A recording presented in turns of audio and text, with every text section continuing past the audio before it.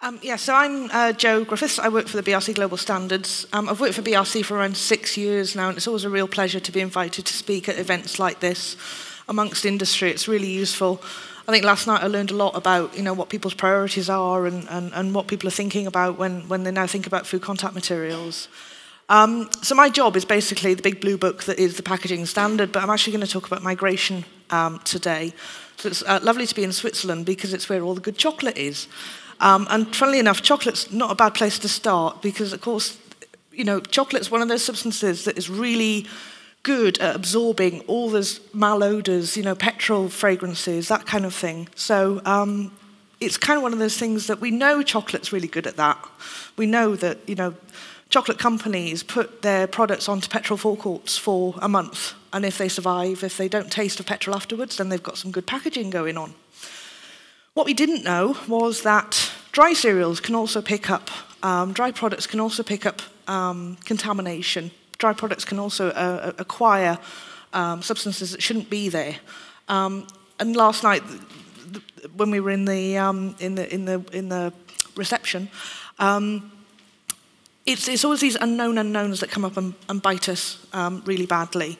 Now, the Daily Mail, unfortunately, has got a really bad reputation as being a bit of a scaremongering newspaper. Anyone who's British will understand just how scummy uh, the, uh, sorry, pardon my parlance, how scummy the Daily Mail can be.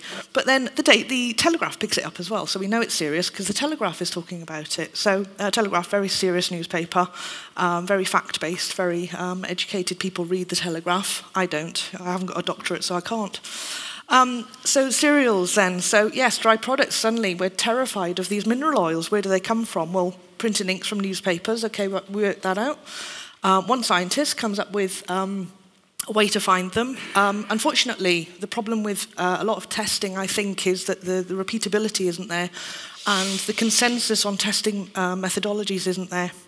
So I just wanted to run through migration and what it is, because I think it's nice to sort of uh, have a bit of a recap sometimes. So there's actually five different types of migration. Um, and the main factors being time and temperature and the molecular size. Um, so time, of course, you need proximity and uh, a length of duration. That's why chocolate bars are on the petrol forecourt for a month. Um, temperature, of course, molecules act faster when they're warm. Uh, the molecular size, so anything under 1,000 Daltons typically doesn't uh, migrate. So benzophenone, for example, is, is a very small molecule, so that, that migrates very easily. And then you've got the composition of the food. So like, like we were saying, chocolate is a fatty product. It, it acquires odours. Um, but then there's that unknown unknown of those cereals and, and dry products. But also the packaging materials themselves. And it's an interesting point that was brought up about just how many components there are in a piece of packaging. Um, because in theory, there's only four different types of packaging. You've got paper, metal, plastic, and glass. So in theory, you've got a very simple uh, set of packaging materials. Unfortunately, what you do is, you, you know, the water bottles that are here today, you can't transport water without a cap on it, so you have to add a cap. And of course, the cap won't seal without a compound. Uh, then you've got labels. Okay, not too much of a problem with glass because it's, it's, it's not going to uh, allow any of those inks through.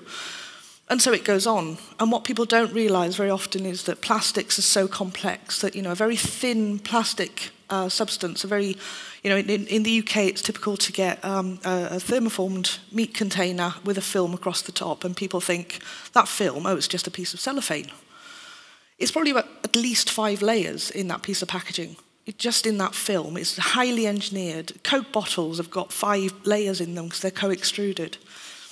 So, you know, there's that added complexity. I was saying last night, actually, that glass, in, in theory, is the perfect packaging material. It's inert, it's safe, it's, it's resistant to everything apart from uh, the, odd, the odd acid. Um, because it's really heavy, so as soon as you start to rely on one packaging material, um, you introduce other problems, because once you start transporting it, your costs go up, your petrol use goes up, so, you know, there's whole, whole, whole uh, gamuts of, of unintended uh, consequences. So contact migration, then so that's literally um, two materials, or materials such as food. So the example I often give is a hot pizza delivered to, to your home. Um, the grease left on the board, well, grease has migrated from the pizza into the board. So in theory, substances from the board could migrate into the pizza. So that's uh, a very simple way of explaining that. Now, board, generally safe. Board in contact with food is usually virgin board, so don't worry about pizzas.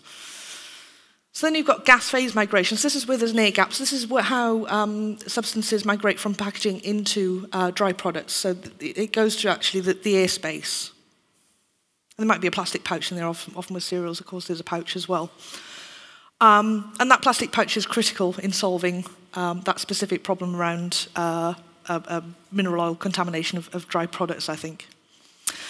Um, and then penetration migration. So, um, example, I suppose it's, it's inks again migrating through a packaging material that's in direct contact with a, with a food product. Um, you've got set-off migration, so when uh, printed packaging materials are reeled, um, if it's not dried properly, the inks can set off into the inside, and of course, according to the legislation, you can't put food in contact with printed surfaces. So effectively, you're breaking the legislation, and you're also introducing uh, a source of contamination. And then you've got condensation and distillation. Now, this is usually associated with packaging materials that are heated, so anything that's microwaved or ovened. So if you're using ovenable packaging materials, then this is a, a, a probably more concern than any of the other types. So migration modelling um, is the normal route. Um, the trouble is, and I think we started to hint at it in the last discussion, was that it picks up everything and it assumes the worst case scenario based on you know, the set of data that we have.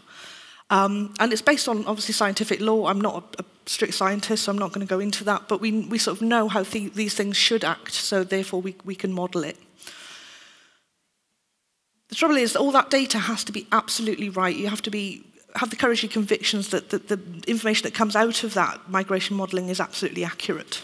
Um, and and it, it absolutely, actually overestimates um, the amount of, of migrants into a, a food product, which isn't necessarily a bad thing, but it does potentially give people the impression that packaging isn't as safe as it is. When I tell people I work in packaging, they always recoil in horror because they think of all the, the packaging they have to deal with and the recycling that they have to manage. Um, so it's, it's, it's yet another string to their bow if they can say, well, packaging is dangerous as well, isn't it? Because it, you've got all these chemicals in it trying to kill me. Um, I try not to get into too much of an argument because I do get on a bit of a soapbox and start ranting, so um, I try not to go into that. Um, so migration testing, as you're probably aware, it's all done with simulants. There are certain, set, certain um, things set out in the legislation to dictate how these things are done. I think the problem with, with the mineral oil specifically is that there is no agreed testing methodology to find those and what the acceptable limits might be if we can find those substances in a piece of packaging um, or, or in fact in the food product rather than the piece of packaging. So the law, of course, we've got the framework regulation, and we've always talked around, uh, already talked around, you know, the principle of the law is to not bring uh, danger to human health, to, to not um, um, change the, the actual um, composition, that's the word I'm looking for, composition of the food so that it's dangerous to anybody.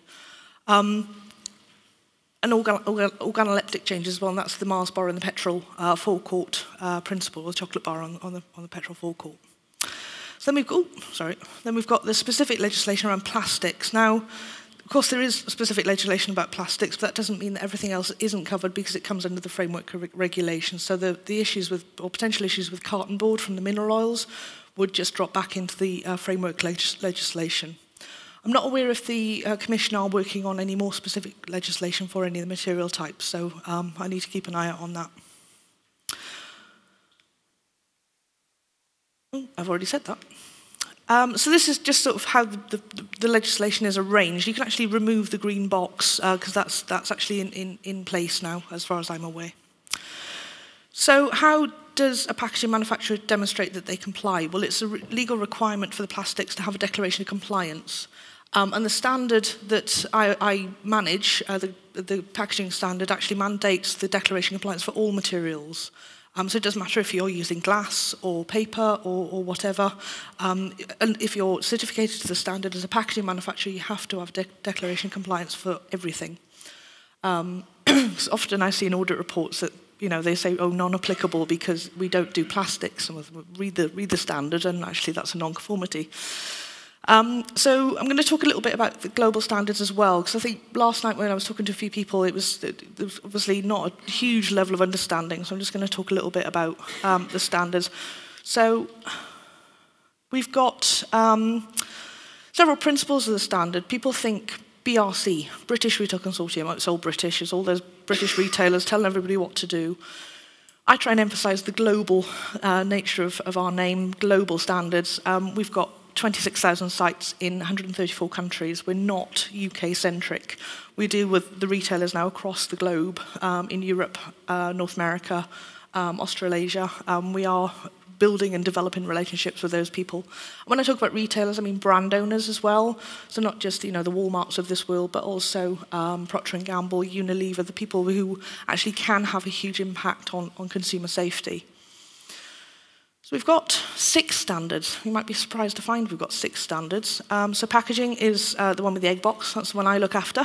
Um, then we've got the food safety standards. That's literally people who uh, manufacture or process any food product. It's post-farm gate. Um, and then we've got storage and distribution, which covers any type of storage and distribution activity. Um, then we've got consumer products. So this is literally people products that people buy. That's actually been split into two different standards now. So we've got personal care and household, which is all the formulated type products, and then general merchandise, which is your hard lines, your televisions, your toasters, that kind of kind of product. Then we've got agents and brokers. Now, agents and brokers came out of horse meat. Now, I never go to a conference and don't hear the phrase horse meat. So I thought, well, I, will mention it this time. Um, so it was a direct result of that because it was, it was out of the Elliott report really that dictated, that determined that part of the problem in the supply chain was all these agents and brokers not necessarily being as truthful as they should be. So that's why they, we wrote a standard. And then retail, which is absolutely brand new, only launched, I think, in August. Um, so that's designed for retail operations, so shops, stores, any, anybody who sells food direct to the consumer. So we've really got a standard to, to address every part of the supply chain. Um, packaging and food safety are very manufacturing focused. You have to be making those things in order to use them. Um, and the other one, and consumer products, but the other ones are more sort of supply chain and, and operations. So as I said, we've got um, 24,500 certificated sites. Uh, it's actually more like 26 because there's a lag in our system of, of, of, through certification. And we're in 134 countries. So anyone that thinks we're you know, purely uh, a bunch of British retailers thinking we rule the world, it's not like that. Aside from Brexit, we are global. Uh, you know, we don't know the, uh, the impact that Brexit may or may not have yet on our, on our business. Um, so I've just broken down there in terms of, of where we all are. And of course, food's the biggest standard. It's the most mature. Um, it's, it's very often the first step from a retailer. They can specify things to their, to their suppliers, who are probably the food suppliers. Um, and then that can start to creep back up the supply chain. So this is just the sort of general distribution of, of where our packaging sites are, the packaging certificated sites. So as I said, there's 3,400 of them. Um, so yes, there's a huge weighting towards Europe. Um, but what I wanted to do in this slide was explore, um, in terms of where we're most popular. So UK is at the top, it's hardly surprising. Um, but interestingly, for a long time, Germany was number two. I think Germany was number two from the outset. I think issue one uh, in 2001, um, Germany's always been second. And suddenly, China's there. And the interesting thing, not only is China second in, in, in terms of, of our popularity uh, contest, uh, if you like. It's also in the top 10 growth. It's at the top of the growth. So we're getting 46% growth year on year in China. And if you think about where all our products come from, it makes absolute sense that we're growing there. And it's really um, reassuring, I think, that, um, that the, the sort of factory of our world, if you like, is, is, is actually uh, engaging with standards like this. Important thing to note about the standards as well is that legal compliance is the starting point. So if a company is manufacturing packaging materials in France or Spain, they are subject obviously to the um, relevant legislation in Europe. Um, the auditor, when they're going into that site on an annual basis, we'll be checking that, We'll be assessing whether they are actually making risk assessments to determine if they are compliant with the le legislation. Um, so by inference, if you've got products coming from a Chinese certificated site, uh, packaging materials or consumer products, they are legal, um, legally compliant in the country of manufacture and the use, where they know the use, because sometimes packaging materials are manufactured to stock. So good practice then. So how do you avoid getting uh, migration issues in the press? Any ideas? I've got nothing after this, seriously, nothing. I'm joking. ultimately, it's really simple. It's getting a food manufacturer and a packaging manufacturer in the room together and talking about the product and the likely packaging materials to be used, the supply chain that it's going to be going through. Will it be refrigerated? Will it be heated in the packaging? Will it be um, stored in the Sahara in some you know, brand new warehouse built there for some reason? It's that collaborative effort that's going to identify those critical points because packaging material manufacturers are really good at making packaging and food manufacturers are really good at making food. So by coming together, they can make a, a really good um, assessment of the likely supply chain, of the known supply chain, and determine what packaging material is right. So I said earlier that, you know, in terms of um, gas phase migration, where you've got um, the, the, perhaps the carton board, the plastic film, and then the product, so a typical cereal box. Um, it's really, I mean, I'm, when that story broke, I think Jordan's, which is a, a huge muesli manufacturer in the UK, they decided as, as, a, as a bit of a knee-jerk reaction, really, that they were going to go just virgin board for all their packaging. And I thought, well, that's great, but we're going to run out of trees at some point. so not necessarily a good decision. Actually, if they went to their film manufacturer and said, look, we've got this issue with my, my mineral oils, what have you got that's a barrier for them? Problem solved. Absolutely problem solved.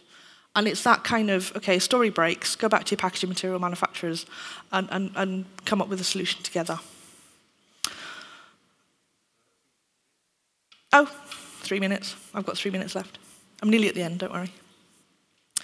Ultimately, the, the responsibility for legality when it's on the market lies with the packer filler. So it's usually the food um, food uh, manufacturer, because it's them that's putting it on the market, the brand owner, the retailer, it's their responsibility to make sure things comply with the legal requirements. It can't be the packaging manufacturer's responsibility to maintain compliance with legislation because they don't know what food is going to be packed into it. They don't know what migration testing to have done. Um, part of the declaration compliance requirements in the standard say that where testing has been completed, where migration testing has been done, any modelling, um, any, any uh, you know, real world testing, that should be included in the declaration of compliance to allow people further down the supply chain to make educated uh, calculations as to whether that packaging material is appropriate for its use or not. Um, so it's really, you know, there's an element of there of competitiveness as well. There's, there's all sorts of issues potentially if you've got a, a brand new packaging material, but, you know, it's, it's, it's only sharing information that's going to avoid these sorts of scenarios. Um, so just as a, a quick um, sort of guidance, really, if you're changing a product, go talk to your packaging manufacturer. Um, if you're considering a new product, get everyone in together at the same time, including transit packaging as well. Corrugated board is um, probably around 60% recycled content these days. So, you know, the potential for, um, for, for potential contaminants, contaminants in that material is quite high as well. So it's really crucial to, to evaluate the potential hazards there. And if you're trying to change shelf life or anything like that, as a food manufacturer, you need to be talking to packaging manufacturers.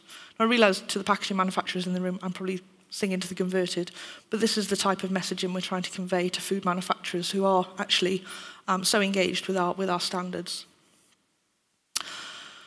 That's me. I don't have any business cards with me because we've just moved offices, so um, apparently we don't have any printers that are that quick. But um, these are my contact details. So if you have any questions about the standards or anything like that and you want to contact me later, please feel free to do so. Any questions?